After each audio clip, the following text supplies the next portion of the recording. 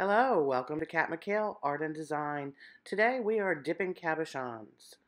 Instead of doing um, paint skins, I prefer to dip in the wet paint. I don't find my skins dry well, um, and a lot of times are wrinkled depending on the surface, and I don't always paint over a flat silicone mat. So, here we go. Here's some round glass cabochons. I just use a popsicle stick and some what do they call it? It's just a sticky putty. And I stick the cabochon on. And then you want to make sure that the cabochon is clean from fingerprints and oils. So just a little alcohol spritz on a paper towel, just rub them off. The other side doesn't really matter because you're going to clean that later. And then you pick a spot. And so I liked this area, so I'm going to dip it. And then I'm going to pull it up sort of sideways. Sometimes you get a little tail on top, and sometimes the pattern on top is really pretty. But it's going to be what's on the other side that shows. So now I'm going to pick another spot with another round cabochon. And of course I can't make up my mind. So I'm like trying to redo the design or fix it, making sure that it fits my cabochon. I just like saying that word, I think. Cabochon. Cabochon.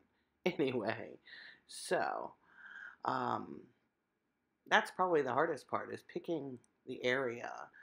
Because if you manipulate the paint too much, then you lose some of what you wanted to begin with.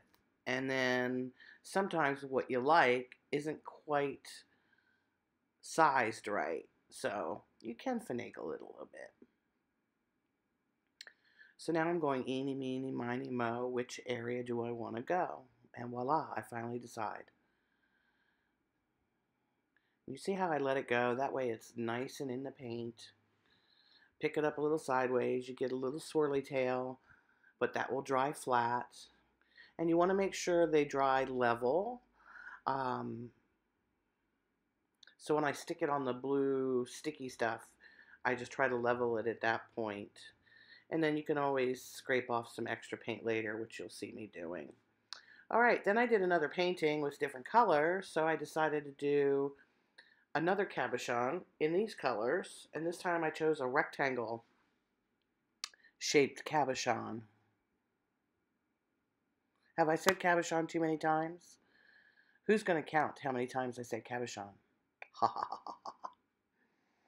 okay, so I think I'm examining this at this point.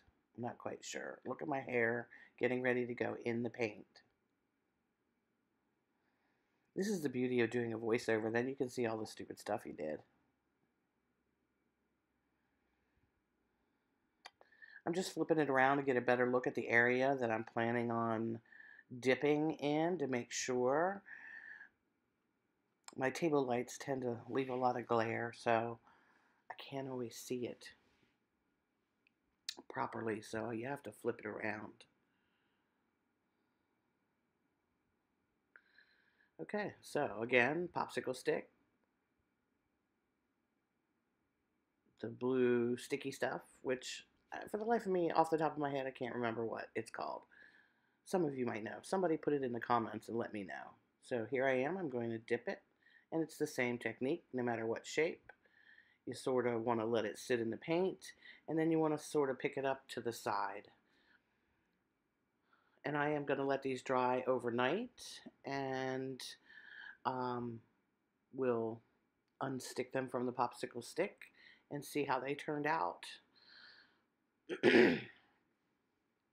I do usually let them dry a couple of days before I glue them into their bezels um, but I can check them out the next day. So here we are. They are dry. And I'm just going to pop it off the stick. Sticky stuff comes right off, doesn't leave any residue, and voila, there you have it. Here's the other pink one. This is the larger cabochon. And voila, Unfortunately, the camera does not do these things justice. you can see the in in okay in I'm forgetting the word I want to use. You get a better view of the patterns. Intricacies. That's what I was thinking of of the pattern in person. And there is the other colors. That one's got some shimmer. I really liked it. So then I usually just kind of check them out, see if I like them.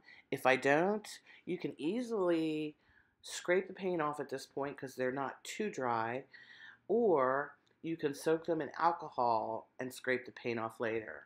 So if you don't like what you see, you can reuse your cabochon, no problem.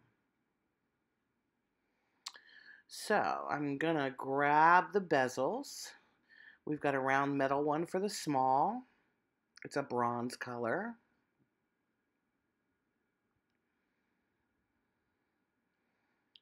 And I play with the direction of the pattern to see what's going to look best. And see, there you go. There's the edge. It's got a little overflow on the edge that will show up. Um, and you'll be able to see it if you don't scrape it off. So I just use the edge of my fingernail and go around and scratch it off. Easy as that. And again, you want to do that the next day, not three days later when it's hard as a rock. So there you go. The next one is going to be a wooden cabochon for the larger round. And again, I'm peeling off that extra paint on the sides. Probably could have feathered through this a little faster, but I'm going to make you watch it.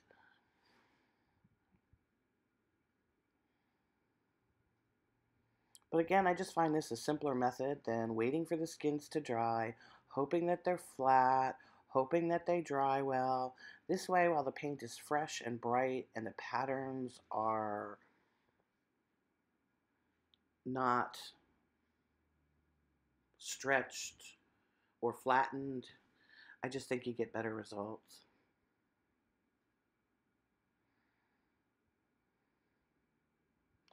And then for the rectangle one, I have a silver rectangle bezel. And all in all, I think all three of these came out pretty good. I just want to say thank you for watching today. Um, these jewelry pieces happen to be really popular, and I'm pleased. Um, to be able to make them for you. Remember, my work is for sale. You can contact me at acrylicsbykat at gmail.com. If you're watching this on YouTube, please make sure you're subscribed and hit the bell for notifications. Um, and like all social media, if you like what you see, hit the like button. A lot of people view and they forget to hit the like button hitting that button is important to people who are using social media to promote themselves and sell their art.